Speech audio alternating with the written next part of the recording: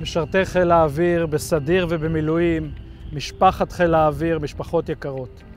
חג הפסח הזה הוא לא חג רגיל. אנחנו נמצאים בחירום. אנחנו נמצאים בחירום נוכח מגפה שתוקפת את מדינת ישראל.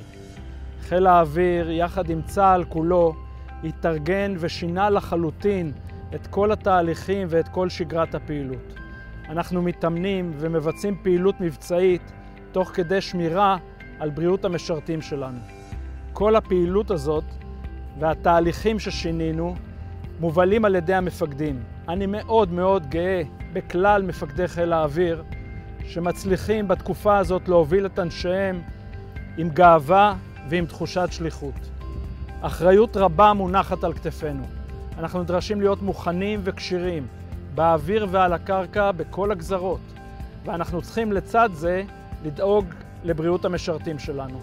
אנחנו כמובן נרתמים למשימות רבות לסיוע במרחב האזרחי ולסיוע לפיקוד העורף שעושה עבודה נפלאה כדי לסייע במגוון אוכלוסיות ואזורים.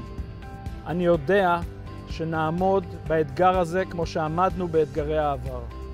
את החג הזה אנחנו חוגגים באופן שונה, עם המשפחה הגרעינית, ביחד, בטייסת, בגף, קבוצות קטנות, מלוכדים, בטוחים בעצמנו, אבל יודעים שאסור לנו להרפות וחייבים, חייבים להמשיך ולנהוג על פי הכללים.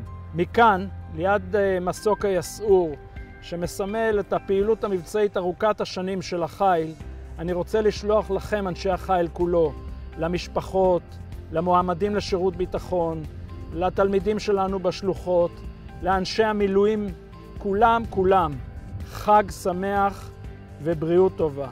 ואם תרשו לי, בהזדמנות הזאת אני מבקש מכם להצטרף אליי ולהצדיע לצוותי הרפואה ולגורמים שעוסקים בבריאות הציבור. אני מצדיע לכם ואני מוקיר את פועלכם. יישר כוח וחג שמח.